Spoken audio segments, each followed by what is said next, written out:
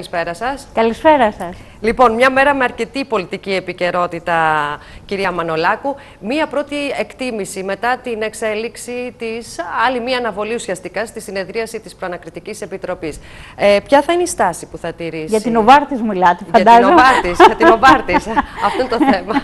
Νομίζω ότι το έχουμε αντιληφθεί όλοι αυτό.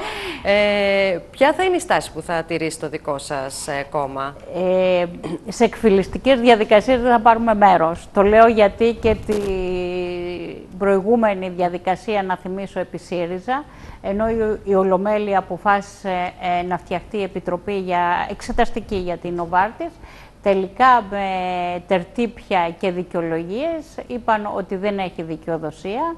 Σήμερα ξαναερχόμαστε, κυβέρνηση είναι η Νέα Δημοκρατία, αλλά σε αυτό το παιχνιδάκι και σε αυτά τα τερτύπια παίρνουν μέρος και οι δύο, και η Νέα Δημοκρατία και ο ΣΥΡΙΖΑ.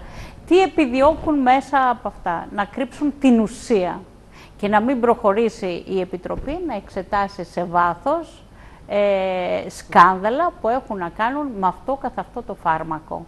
Δηλαδή ε, η εκτίμηση δική σας ποια θα ήταν αν είχατε τη δυνατότητα να ελέγξετε αυτή την υπόθεση; Τι ακριβώς θα κάνατε; Ε, ε δηλαδή ούτε εξεταστική ούτε προανακριτική; Όχι, όχι. Το έχουμε πει καθαρά. Ε, είναι να εξετάσουμε εάν υπάρχουν ποινικές ευθύνες και σε ποιους και μετά να αναλάβει ε, ευθύνη το δικαστικό σώμα, να τις εξετάζει. Δηλαδή, να πάει στον εισαγγελέα. Μάλιστα. Αυτή είναι η θέση μας, όμως από ό,τι βλέπετε Πάντως το Κομμουνιστικό σήμερα... Κόμμα στην εξαίρεση Πολάκη Τζανακόπουλο δεν την δήλωσε... ψηφίσαμε. Δεν ψηφίσατε. Βεβαίως, δεν την ψηφίσαμε, γιατί δεν θεωρούμε ότι αυτό είναι το ζήτημα της ε, αντιπαράθεσης. Εμείς θέλουμε ε, να γίνει έρευνα σε βάθος.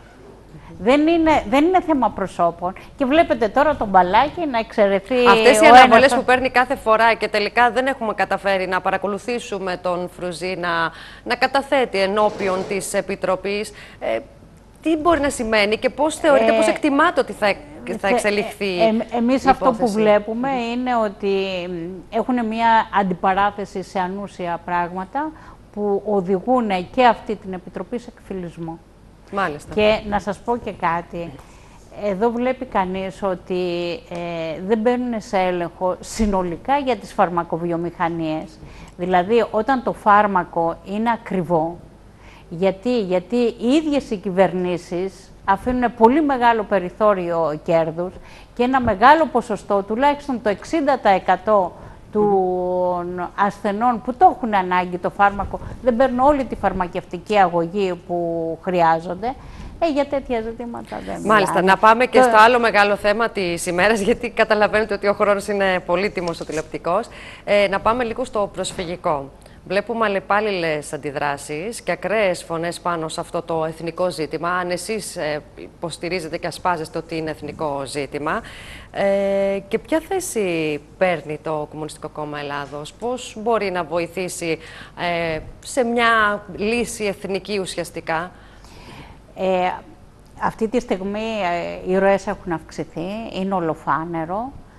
Όμως κανείς πρέπει να δει την αιτία για να δει πώς θα το καταπολεμήσει. Έχουμε δύο πράγματα. Αύξηση των, της προσφυγιάς και των μεταναστών. Γιατί; Γιατί οι υπεριαλιστικές επεμβάσεις και οι πόλεμοι δυναμώνουν.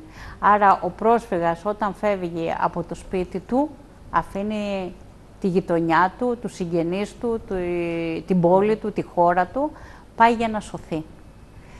Ε, η υποδοχή τους στην Ελλάδα και αυτές οι ακραίες φωνές που ακούμε και οι κινητοποιήσεις, οι διαμαρτυρίες. Λοιπόν, ερχόμαστε στην πρώτη χώρα εισδοχής που είναι η Ελλάδα. Εδώ ε, υπάρχει ε, μία νομοθεσία στην κυριολεξία αντιπροσφυγική ε, εχθρική για πρόσφυγες και μετανάστες. Γιατί; Γιατί οι άνθρωποι αυτοί στην πλειοψηφία τους δεν θέλουν να μένουν στην Ελλάδα, αλλά εγκλωβίζονται. Εγκλωβίζονται Αυτό στα περιγράφεται και στην ε, διάταξη της Βουλής για την παροχή ασύλου που ψηφίστηκε την προηγούμενη εβδομάδα. Βεβαίως και μάλιστα αυξάνουν τον εγκλωβισμό. Είναι διπλός εγκλωβισμός, ήταν στην αρχή μόνο στα νησιά. Τώρα γίνεται διπλός εγκλωβισμός και στην υπηρετική Ελλάδα και μάλιστα φυλακίζονται και όλα χωρίς να έχουν κάνει κανένα έγκλημα.